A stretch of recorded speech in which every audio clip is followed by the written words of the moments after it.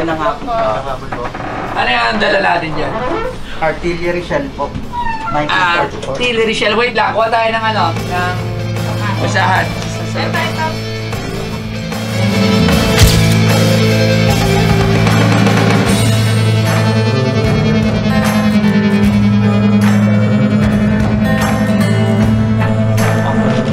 Mabigat ah. 2 kilos po yung isang 2 kilos.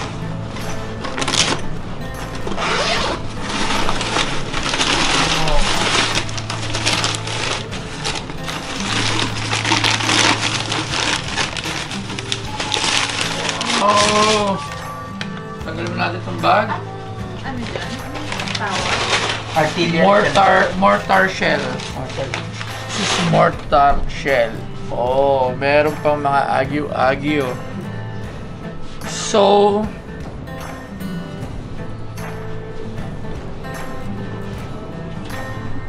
So this is 1944. Check mo.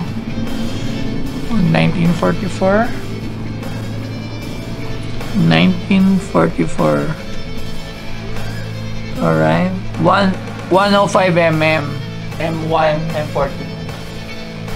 M14, ah, M14. So, hmm. Magkano naman ang, ano niya? Asking. Saan niya nakuha yan? Sa lolo po namin, sa tatay niya po.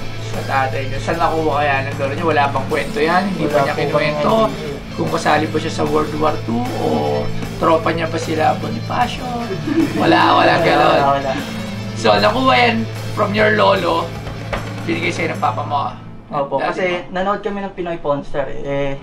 Alright. nag, ano, eh, natandaan namin. Na meron kayo Oo, ganyan. meron ganyan. so, anong kwento sa inyo tungkol dyan? Ah, Wala. Ano siya? Galing siya sa... Sa tatay niya. Alright, so... Tawag lang, may tatawagan tayo regarding sa experts sa mga ganyan. Pero magkano ba ang asking niya dito? 30. 30k, alright? The price is 30k, so tatawagan lang natin yung isang expert yan. So sir, so yun. Ah, Dito sa harapan ko ngayon itong 105 mm Type 1 M14 mortar shell. Ah, yung type 1 na yan, actually, uh, ano, it's a, uh, yung 1944, yan yung type ng uh, shell na nakukuha nila from 1944 to 45 pero ginagawa siyang uh, parang memorabilia.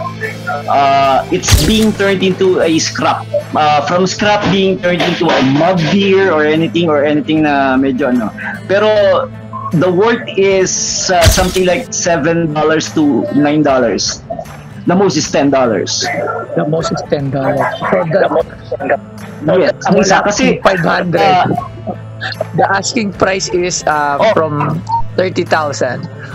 Yes. 30 if it has the head Ah, if it has doesn't have the head Yeah, shell lang is a scrap. uh, Okay. chill eh scrap lang yan Yes, sir. will happen there that they would turn it into scrap. Uh, the, the scrap would be turned into a something more uti- uh, utilized na isang utilized na bagay, something like a uh, it can be an ashtray, it can be a uh, uh, a beer Flower mug, it can be a, Actually, something it can that be is a useful. flower vase. Lagayan ng kung ano. Yes, Sir- anything. Yes, sir. Kasi copper kasi yan eh. Yes, For sir. copper yung ano eh, uh, uh, what do you call this? Taso kasi yan eh, yung, yung black na yan. Na, black lang yan uh, due to age and time. Alright. Pero it can be, you know, it can be turned into something. Once it has turned into something that is uh, useful, automatically, that's it, you can raise it uh, into another level.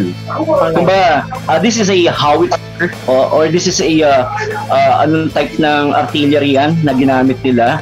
Parang, Once na, wag, wag tatanggalin kasi what is important there is the the the base of that shell. Yung may nakalagay na Memco, 1944-45. alright.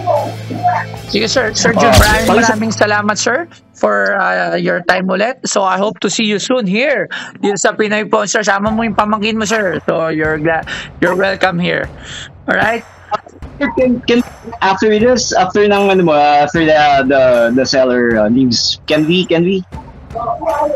Yes, I will call you back again. After this. Okay. Um, Alright, salamat, over Sir the phone, ah, not over. Okay, thanks. Thanks. Salamat, salamat po. Thank you.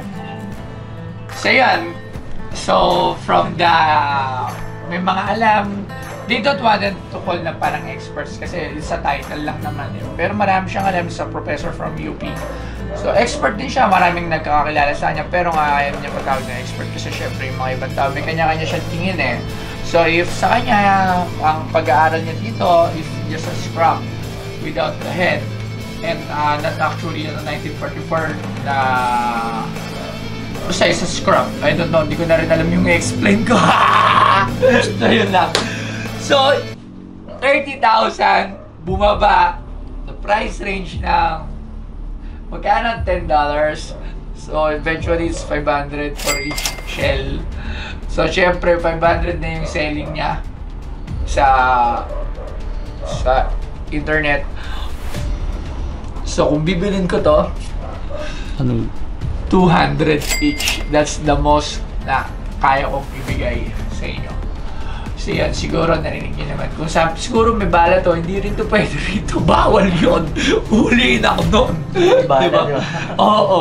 Pero, so, better keep it Hmm. uh, as an uh, parang ano na lang ng mga parents nyo, di ba?